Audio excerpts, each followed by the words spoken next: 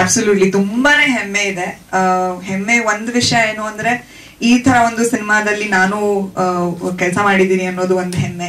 ಅದಲ್ಲದೆ ಕನ್ನಡ ಸಿನಿಮಾಗಳಲ್ಲಿ ಈ ತರ ಒಂದು ಸಿನಿಮಾ ಬಂದಿದೆ ಅಂತ ಕನ್ನಡ ಒಂದು ಆಡಿಯನ್ಸ್ ಆಗಿ ಒಂದು ಹೆಮ್ಮೆ. ನನ್ಗೆ ಈ ಸಿನಿಮಾ ತುಂಬಾ ಸ್ಪೆಷಲ್ ಯಾಕಂದ್ರೆ ನನ್ನ ಮದುವೆ ಆಗಿದ ವರ್ಷನೇ ಈ ಸಿನಿಮಾಗೂ ನಾನು ಶೂಟ್ ಮಾಡಿದ್ದು. ಸೊ ಒಂಥರ ನನ್ಗೆ ಡ್ರೆಸ್ ರಿಹರ್ಸಲ್ ತರ ಆಯ್ತು. ಬಟ್ ನಾನು ಅವ್ರಿಗೆ ಹೇಳ್ತಾ ಇದ್ದೆ ನನ್ನ ಮದುವೆನಲ್ಲಿ ರಿಸೆಪ್ಷನ್ ಇರ್ಲಿಲ್ಲ. ಸೊ ಈ ಮದ್ವೆನಲ್ಲಿ ನಾನು ಆ ಒಂದು ಇದನ್ನೆಲ್ಲ ತೀರ್ಸ್ಕೊಂಡ್ಬಿಡ್ತೀನಿ ಅಂತ.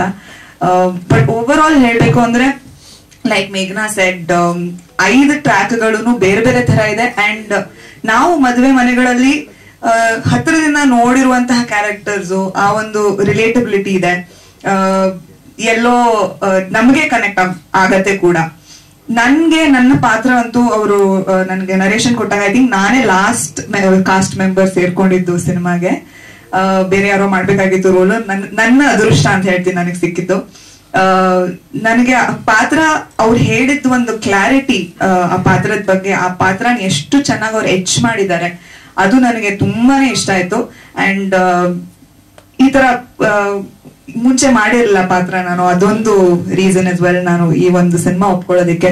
ಅಂಡ್ ತುಂಬಾ ಖುಷಿ ಖುಷಿಯಾಗಿ ಕಷ್ಟ ಅಷ್ಟೇ ಅಲ್ಲ, ಇಷ್ಟಪಟ್ಟು ಸಿನಿಮಾ ಮಾಡಿದೀವಿ ಎಲ್ಲಾರು ಎಲ್ಲಾರು ಅವ್ರವ್ರ ಪಾತ್ರಕ್ಕೆ ತುಂಬಾನೇ ಒಂದು ನ್ಯಾಯ ಹೊಂದಿಸಿದ್ದಾರೆ.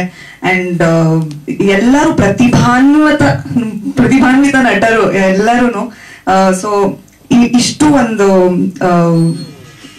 ಪ್ಲಸ್ ಪಾಯಿಂಟ್ಸ್ ಇದೆ ನಮ್ಮ ಸಿನಿಮಾಗೆ ಆಕ್ಟಿಂಗ್ ಅಲ್ಲದೆ ಕಥೆ ಅಲ್ಲದೆ ಮ್ಯೂಸಿಕ್ ಇವಾಗ ಆಲ್ರೆಡಿ ಎರಡು ಹಾಡುಗಳು ಹೊರಗಡೆ ಬಂದಿವೆ. ಸೋಬಾನೆ ಇವತ್ತು ಪ್ಲೇ ಮಾಡಿದ್ದು. ಅದಲ್ಲದೆ ಕುಚು ಕುಚು ಅಂತ ಒಂದು ಲಿರಿಕಲ್ ವಿಡಿಯೋ ಬಂದಿದೆ. ಕಿ ಕಲ್ಯಾಣ್ ಸರ್ ಅವರು ತುಂಬಾ ಅದ್ಭುತವಾಗಿ ಲಿರಿಕ್ಸ್ ಬರ್ತಿದ್ದಾರೆ ಹಾಗೆ ಜೂಡಾ ಸ್ಯಾಂಡಿ ಅವರು ಮ್ಯೂಸಿಕ್ ಕೂಡ ಕೊಟ್ಟಿದ್ದಾರೆ.